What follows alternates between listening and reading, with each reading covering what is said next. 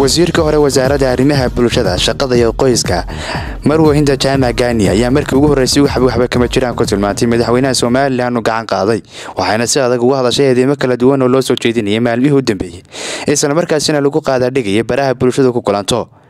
Marwahinta jaamac gaani wasiirka hore ee arrimaha bulshada shaqada iyo qoyska waxay sidoo kale waxba kama jiraan ku tilmaantay wararka sheegaya inay ka baxday xisbilxaakimka talada dalka ee kulmiya waxayna sheegtay inay ka mid ahaan doonto xisbigaasi burca igala soo hadlayay oo leh waxbaa lagugu dhuftay baa layidhi nabar baa kugu dhacay baa layidhi waad isdisheen baa layidhi xaasha waa ceeb waxaasoo kale yaan laydinka maqlin. Madaxweynaha jamhuuriyadda somalilanna waa dhaqanyaqaan hablaha lama hadlo xitaa lama murmo. Wax allaale wixii haddaanu xitaa khalad soo jeedino markaanu golaha joogno inuu nagu raaca mooyaane weligiina lama murmin. Marka khilaaf nama dhex marin fadeexadi nama dhex marin namana dhex mari doonto. Waxaan leeyahay maynu kala tegin waxaan ahay siyaasi somalilan u dhashay meel inaan u sadcaalo ha iiga biqina oo safar iguma jiro. Safxadda siyaasaddana waynu ku kulmi doonnaa sidaynu horeba ugu kulmi jirnay anigoo ah gabadh xubinka ah xisbilxaakimka kulmi. Yeeshee ma abuurto waxaa tahay ilmo aada u yar oo da'deedu ay hoosayso inan baad haddana tahay qol cidlo ah kuuma kirayn karayn. Waayo waxaad u baahan tahay cid kugu ilaalisa oo adiga dee naftaada weli maad gaadhin heer laguu sii daaya inaad xayalla adigu suuqa ugu noolaato. Hase yeeshee aan ku weydiiye meeye faamligaagii aabbahaa hooyadaa xaggee bay jiraan inantaasi waxa ay iigu jawaabtay hooyadeed iyo aabbaheed inay kala maqan yihiin. Waxaan rabaa inaad guri gaara ii kiraysaan isla lacagta i siisaan aan si xorriyada u noolaado. Markaasaan weydiiyey hooyaan ahay.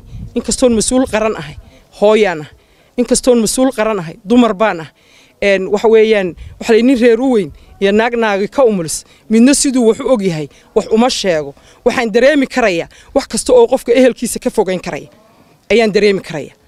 Waayo baahidii anaaba la berbertaagan inaan kabo oo aan runtii xifdiyo ilaaliyo. Gahayr wuxuu i weydiiyey inaan buug ka bixiyo. Waa run. Laakiin isweydiinta meesha taalla waxay tahay buug ayaa lahaa buugga miyuu ii keenay oo waan akhriyay oo waxa ku qoran? Gudihiisa waan eeg. Dhammaan bulshadeeda qiimaha badan. Waxaan u sheegayaa buugga wuxuu iigu sheegay gahayr inuu leeyahay qof dhintay oo gabadhi. Qofkuna sida aynu ognahay wixii aan sadaqatal jaariya ahayn in loo kaydiyo oo qof dhintay laga dabageeya ma habboona. Maadaama oo aanu buugga isagu lahayn ee gabadh dhimatay ay leedahay maytaadkuna aanu hadlinoo ha la ii qoro iyo ha la iga daayo. Midna aanu odhanayn anna buugga aanan akhriyin. Oo inuu ajar ku yaallo iyo inuu dembi ku yaallo midna aanan garanayn.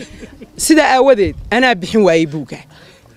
Waxaan leeyahay qofkii qof wax weydiisanaya isagu afkiisa ha ku weydiisto ama qof nool ha ku weydiiste dee waa halkii lalahaa dad dhintaa codeeye dadka dhintay yaan qoraal leeyigaga xamse dalxa telefishinka madaxa banaani star t v magaalada hargeysa